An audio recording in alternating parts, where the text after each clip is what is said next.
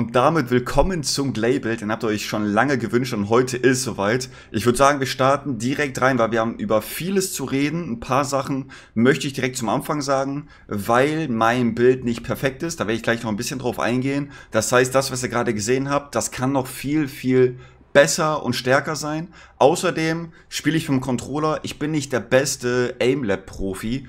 Äh, wenn ihr die Schwachstellen besser trefft, dann kann es auch sein, dass ihr viel, viel, viel besser performt als ich. Äh, ich bin wirklich ein Casual Gamer wie ihr oder die meisten von euch. Und wenn ich das hinkriege, dann kriegen das die meisten von euch wahrscheinlich auch hin. So, starten wir rein in den Bild. Ich würde sagen, als erstes frühstücken wir die Waffe ab.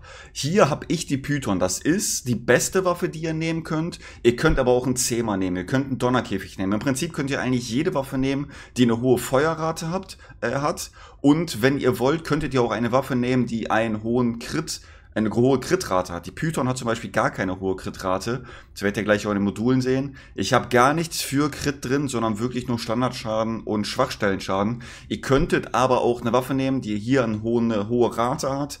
Ich glaube, der Donnerkäfig hat eine relativ hohe, äh, hohe Rate. Und dann noch auf äh, Crit gehen. Das ist hier nur ein Beispiel, wie ich ihn habe. Ihr könnt aber natürlich auch mit anderen Waffen besser oder gleich gut performen. Also die Python, wieso die Python? Weil die den attributlos Widerstand vom Gegner senkt. Meine Python ist hier auf Max-Level, damit hat die keinen Rückstoß mehr. Eine Dauer von zwei Sekunden, bis man den nächsten Stapel äh, reinhauen kann. Maximale 28 Stapel und die Widerstände, die reduziert werden, die verringern, äh, die ändern sich nicht. Ähm, ihr könnt dann zum Beispiel attributlos Widerstand, das passt natürlich perfekt für Glay und Giftwiderstand würde perfekt passen für einen Giftkämpfer wie zum Beispiel Frayner. Aber ihr könntet dann auch in die Waffe selber, gehen wir mal in die Module, anstatt jetzt hier Elektroverbesserung, Giftverbesserung äh, reinnehmen oder jedes andere Attribut könnt ihr natürlich auch spielen, aber das würde sich hier natürlich am meisten lohnen, Gift drauf zu spielen, um nochmal das Maximum rauszuholen. Aber jetzt in dem, was ihr gesehen habt, war Elektroverbesserung drin, weil der Verschlinger natürlich gegen Elektro eine Schwäche hat. So, dann gibt's ein paar Standardsachen, die sind immer drin. Versteckter Drall ist immer drin, Feuerrad ist immer drin, mentaler Fokus ist das absolute A und O auf Glay. Ich weiß nicht, ob man das Video im Video gerade gesehen hat, aber wenn ihr die, ne, die, die dritte Attacke zündet, dann ähm, bekommt ihr wieder oder dann zählt das nicht, als würdet ihr nachladen und dieser Effekt von 150 Stapeln bleibt. Das heißt, ihr habt durchgehend 150% mehr Schusswaffenangriff. Wirkung gegen Wirkung ist auch immer drin. Ich habe jetzt hier Adlerauge noch drin, weil ich noch vier, äh, weil ich noch Modulkapazität übrig hatte.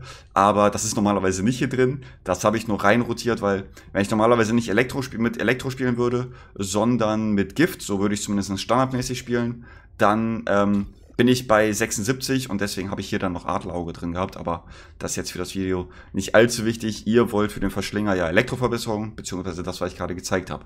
Dann noch Schwachpunktfixierung ist das, was ihr noch am meisten an Schwachpunktschaden rausholen könnt und dann nochmal Schwachpunktvisier und dann kommen wir insgesamt auf 93% Schusswaffenangriff, 25% äh, Feuerrad steigern, 20 Rückstoß, das ist aber nicht so schlimm. Und 75% Schwachpunkt Schaden und minus 20 Genauigkeit. Aber wie gesagt, äh, Genauigkeit und Rückstoß, wenn ihr ein bisschen besser spielt als ich und auch näher am Boss dran seid, dann macht das nicht so viel aus. Äh, eher bei Bossen, wo ihr richtig kleine Ziele treffen müsst und vielleicht nicht so gut aimen könnt, aber das ist hier jetzt erstmal vernachlässigbar. Ja, das ist die Python, habe ich glaube ich dreimal verbessert. Ein, zwei, nee, dreimal? Naja, ich glaube dreimal und natürlich auch plus 30 Kapazität gesteigert. Das braucht ihr auch, um alles drauf zu haben. So viel zur Waffe. Dann möchte ich direkt zum Reaktor gehen. Nein, falsch. Waffe ist noch gar nicht fertig. Wir müssen ja auch noch über die ähm, Justierung sprechen. Da wollt ihr Schaden gegen Kolosse, ihr wollt Schwachpunktschaden, ihr wollt Schusswaffenangriff und dann irgendein Attribut. Äh, wenn ihr eine andere Waffe nutzt, dann könnt ihr hier auch Crit rein rotieren. Ähm, das kommt dann auf die Waffe an, aber bei der Python Kolossschaden, Schwachpunktschaden, Schusswaffenangriff und dann irgendein Attribut äh, noch draufpacken. So, dann der Reaktor. Da muss ich leider sagen, habe ich keinen guten Reaktor aktuell, weil, wie ihr wisst, habe ich euch schon mal in einem oder anderen Video gesagt, kann man hier Reaktoren farmen. Und diese Woche ist leider kein attributlos Standardmunitionsreaktor drin mit Dimension. Den wollt ihr nämlich. Ihr wollt einen Reaktor mit Dimension, attributlos und Python. Und ich habe hier leider nur einen für Python, attributlos und keine Dimension. Das heißt, hier geht auf jeden Fall auch nochmal Schaden hoch. Außerdem sind meine ähm, unten die beiden Zusatz-Affixe sehr schlecht. Sekundär, Angriffsstärke braucht ihr gar nicht. Da wollt ihr sowas haben wie ähm, Dimensionsschaden, Attributloschaden. Äh, und Fertigkeiten, Abklingzeit braucht ihr 100%. Das ist, müsst ihr sowieso haben. Blau, lila oder gelb. Am besten wäre natürlich gelb. Da komme ich gleich nochmal drauf zurück. Weil ihr die Abklingzeit auf jeden Fall braucht. Aber ja, das ist der Reaktor, den ihr braucht. Für die Waffe, die ihr spielt, muss nicht unbedingt Python sein, kann auch Donnerkäfig sein oder irgendeine andere Waffe. Attributlos Fertigkeitsstärke und Dimensionsfertigkeitsstärke plus unten auf jeden Fall Abklingzeit. Und als zweites würde ich entweder nochmal Attributlos oder Dimensionsstärke draufpacken. Dann wollt ihr das komplette Set vom Auslöscher, den Auslöscherkomponenten, die bekommt ihr beim Verschlinger. Und dort ist eigentlich egal, was ihr drauf habt. Ähm, Max, LP und Verteidigung ist immer gut. Alles andere ist egal. Ihr wollt eigentlich hier nur das Vierer-Set haben. Bevor ich jetzt auf die nachfahren Module eingehe, möchte ich ganz kurz hier erklären, wie ihr überhaupt zündet und wie ihr überhaupt spielt. Als allererstes, wenn ihr in den Kampf reinstartet, zündet ihr Raserei, das ist natürlich klar. Dann zündet ihr massive Blutbildung. Durch die rote, durch das rote Modul ändert sich massive Blutbildung so, dass ihr Ressourcen bekommt. Diese drei Blutkugeln bekommt ihr dann. Somit könnt ihr dann sofort Massaker starten. Das macht ihr dann auch direkt.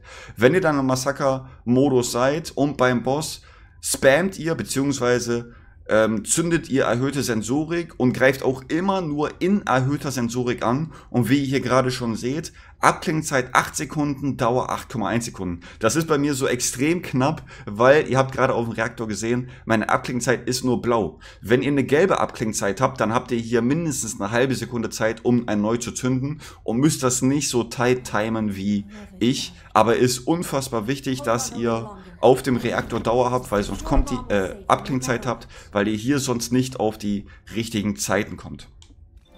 Und jetzt gucken wir uns das Herzstück an von Glay, die Module.